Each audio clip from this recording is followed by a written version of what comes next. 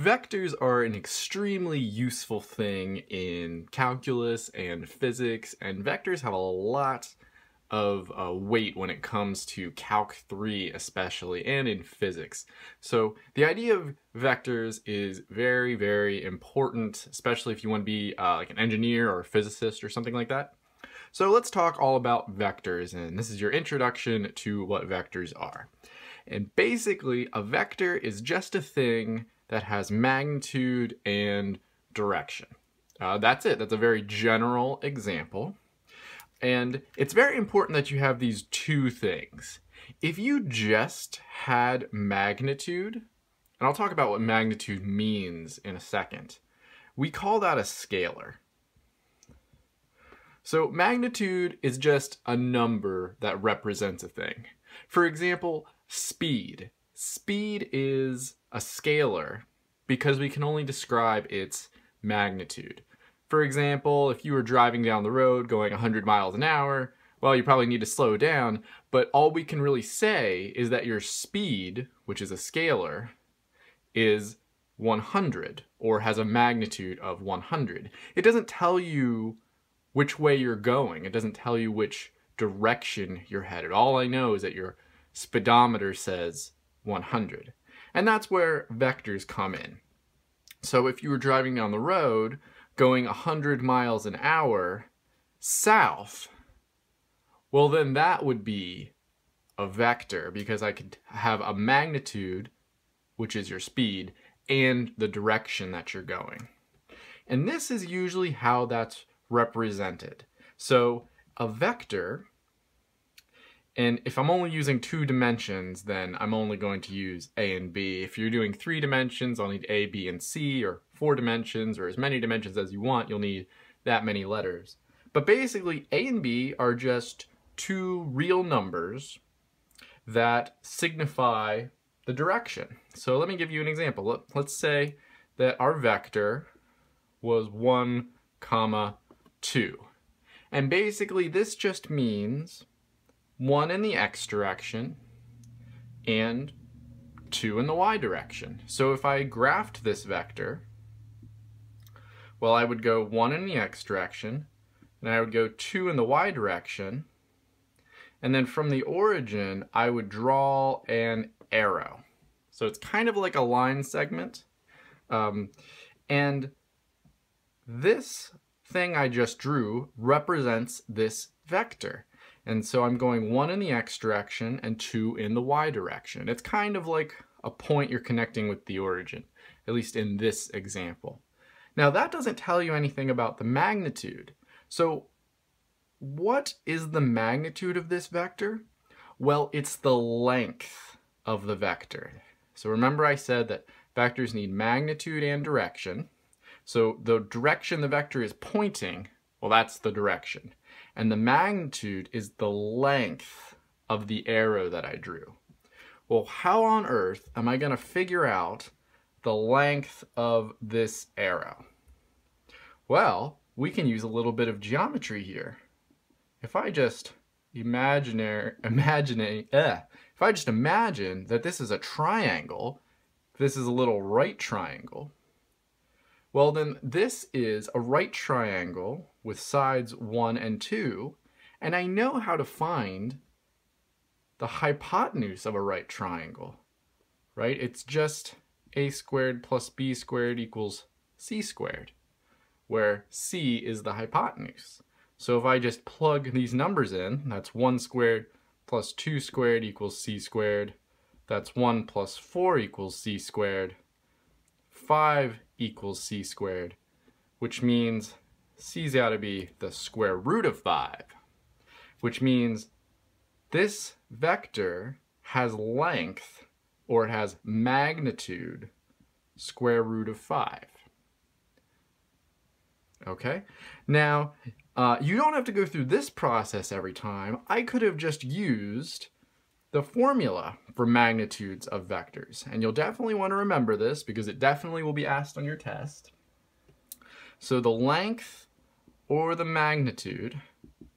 And you can do that little derivation that I just did right there if you want, but you don't have to do that each time. And I should note that sometimes you're going to see it like this, where I drew like absolute value signs around the vector, or you might see it like, um, like absolute value signs and like something like this. Uh, or you might see it with like a double absolute value signs. There's a whole bunch of ways to write this, but the basic formula is just the square root of a squared plus b squared. It's the same thing I just did without doing all the steps. So if you just remember that the magnitude of a vector is just the square root of the sum of the components squared. So I could have just done it right here and just done the square root of 1 squared plus 2 squared is the square root of 1 plus 4 is the square root of 5. That's a little bit quicker than drawing my triangle and figuring out the sides. So you'll definitely want to remember the formula for the magnitude of a vector or the length of a vector. Now there's some algebra we can do with vectors. And the basic algebra things we can do with vectors are add them and multiply by a scalar.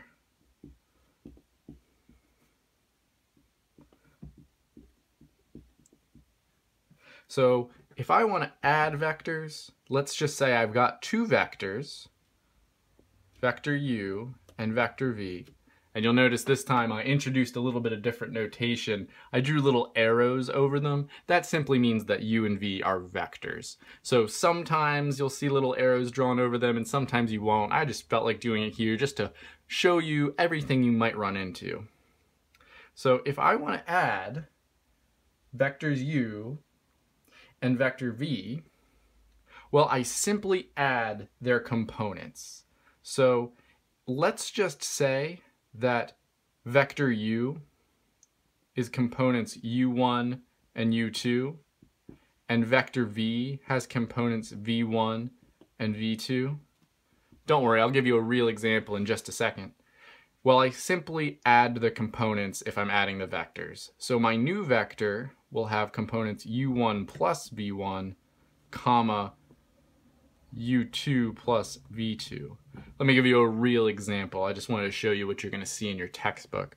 So let's just say I've got two vectors, and I'll call vector u, let's just use that vector I used before, 1 comma 2, and I've got another vector v, and vector v is going to be 5 comma 9. I don't know.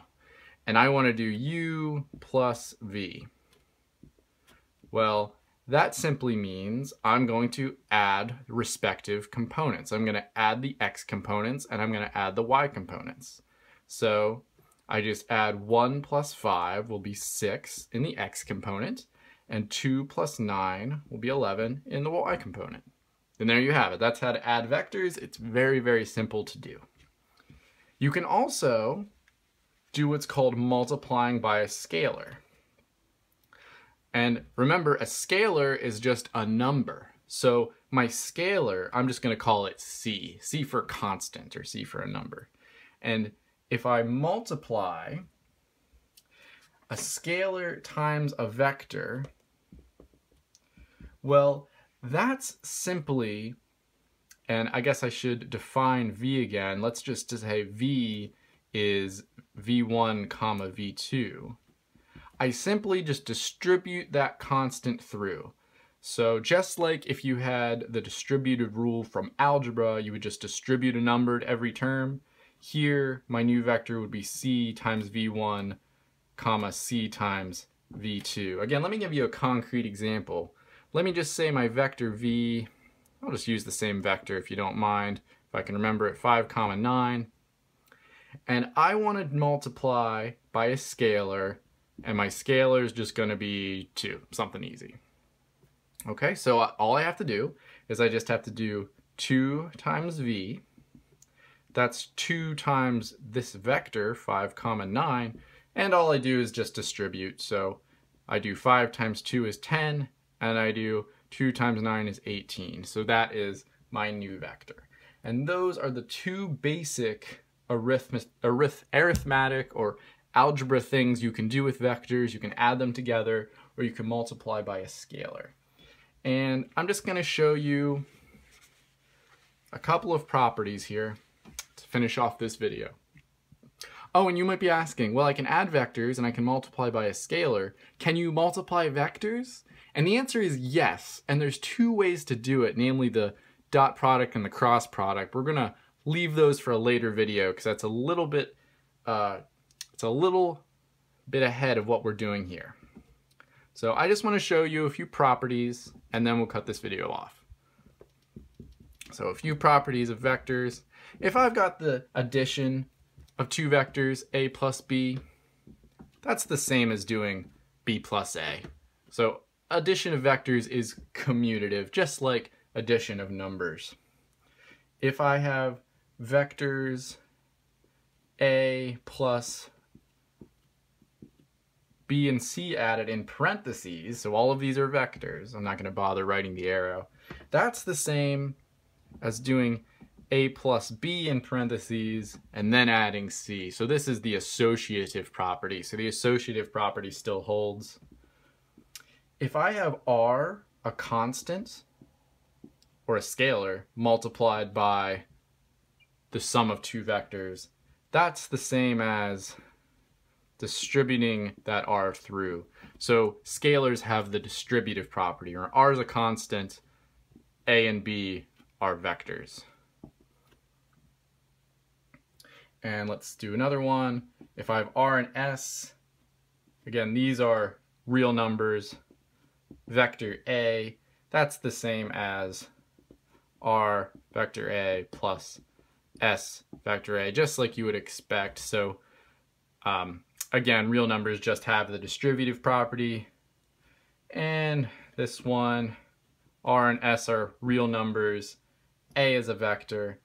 So I have r times s, so this is a number times a vector. This is the same as r times the scalar s times the vector a, or it's the same as s times r times the vector a, just like this. So basically I'm saying that scalar multiplication is associative with vectors. Um, again, this last one, not too important. Um, in fact, you don't really need to know these perfectly.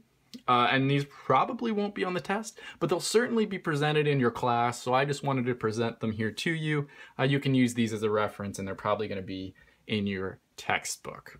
So this is all of the very vector basic things that you need to know. Uh, I hope you got something out of this video. There'll be more vector videos with more examples. I'm going to do unit vectors, and I'm going to do uh, multiplying vectors, that is the dot product and the cross product, which you'll need to know. Um, but for now, this is just your introductory video to what vectors are, how to work with them, and the simple things you can do with vectors. I hope you got something out of it. Please let me know what other videos you want to see. I put new videos up almost every single day, so please like and subscribe, and have a great day yourself.